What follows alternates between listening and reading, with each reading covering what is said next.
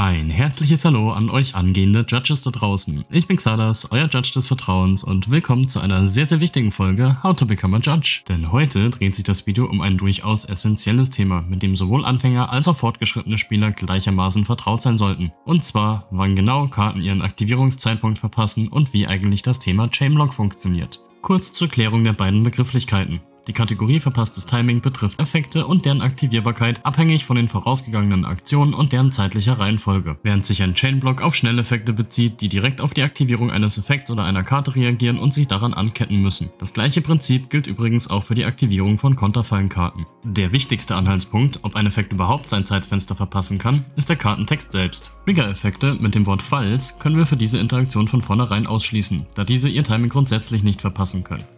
Aber auch Karten, die mit einem Wenn geschrieben sind, können deswegen nicht automatisch ihr Zeitfenster verpassen. Pflichteffekte werden hier nämlich genauso behandelt, als wären sie mit dem Wort False geschrieben. Um das Fenster zur Aktivierung verweigert zu bekommen, muss der Effekt nämlich zudem auch noch optional sein. Oder kurz gesagt, nur optionale Wenn-Effekte können überhaupt die Aktivierungszeitfenster verpassen. Diese Regel lässt sich auch auf Schnellzauber oder Fallenkarten übertragen, die mit einem Wenn formuliert sind und sich im Anschluss an eine bestimmte Aktion in der nächsten Kette aktivieren lassen. Ein Du kannst ist hier überflüssig, da die Nutzung solcher Karten von Natur aus optional ist. Auch passiv angewandte Wenn-Effekte können unter Umständen ihre Wirkung durch ein falsches Zeitfenster verlieren. Dazu folgt im späteren Verlauf des Videos noch ein genaueres Beispiel. Der zweite Faktor ist, wann die für den Effekt benötigten Aktivierungsbedingungen erfüllt wurden. In der vorausgegangenen Aktion oder Kette muss nämlich genau das im Hinblick auf optionale Wenn-Effekte als letztes geschehen sein. Bieten wir ein solches Monster nämlich beispielsweise als Tribut an oder nutzen es für eine Beschwörung aus dem Extra-Deck, werden zuerst die Materialien auf den Friedhof gelegt und danach das Monster beschworen. Dadurch ist die letzte Aktion nicht, dass die Karte selbst auf den Friedhof gelegt wurde, sondern das neue Monster das Spielfeld betreten hat und der Effekt kann nicht genutzt werden. Schauen wir uns das Ganze mal in Bezug auf das Auflösen einer Kette an.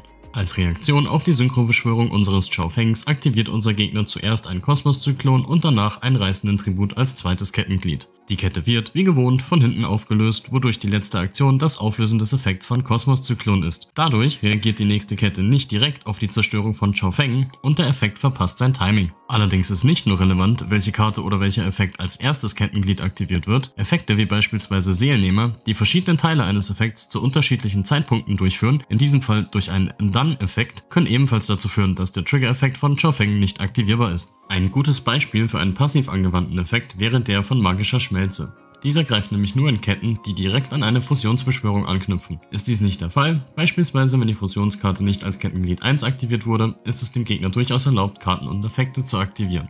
Eine letzte Sache gibt es noch zu beachten. Karten oder Effekte, deren Aktivierung annulliert wurde, sind für das Verpassen des Aktivierungszeitfensters nicht relevant, da diese gar nicht erst aufgelöst werden. Es ist quasi so, als wären sie nie in der Kette aktiviert worden. Um das kurz zu visualisieren. Wird die Aktivierung des Effekts von unserem Soani Feuer des Yang Xing auf dem Spielfeld zum Synchrobeschwören durch einen feierlichen Schlag negieren, ist der feierliche Schlag zwar Kettenglied 2, aber dennoch ist die Zerstörung von Soani die letzte Aktion, die beim Auflösen durchgeführt wird und wir können den Trigger-Effekt im Friedhof zu Beginn der nächsten Kette nutzen. Kommen wir nun zum Thema Chainblock. Diese Mechanik ist für Schnelleffekte und Konterfallen relevant, die auf die Aktivierung einer Karte oder eines Effekts antworten.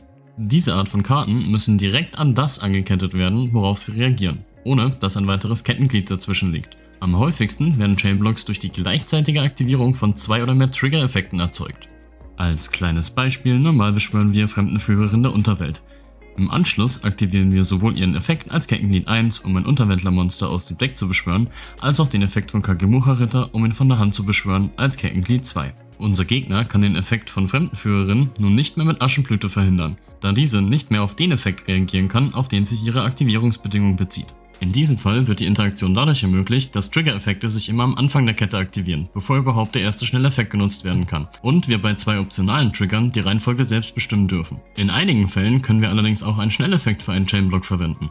Angenommen, wir kontrollieren Artefakt Dagda und aktivieren eine Zauberkarte. Den Effekt von Dagda könnten wir nun an dessen Aktivierung anketten. Da wir unserem Gegner allerdings die Möglichkeit geben müssen, darauf zu antworten, kann dieser selbst einen Schnelleffekt aktivieren und dafür sorgen, dass Dagda nicht mehr auf die Aktivierung der Zauberkarte antworten kann und der Effekt wäre damit erfolgreich blockiert. Aber aufgepasst, nicht nur unser Gegner, sondern auch unsere eigenen Pflichteffekte könnten dafür sorgen, dass Dagda gechainblockt wird, da wir gegebenenfalls zu deren Aktivierung gezwungen sind. Und damit haben wir auch diese beiden Themen des Spiels hinter uns gelassen. Schreibt mir wie immer gerne in die Kommentare, zu welchen Themen ihr weitere Videos sehen wollt. Auch generelle Regelfragen sind erwünscht, diese könnt ihr mir beispielsweise im Discord oder in die Kommentare schreiben. Bis dahin hoffe ich, es hat euch gefallen, ihr habt was gelernt und viel Spaß beim Judgen.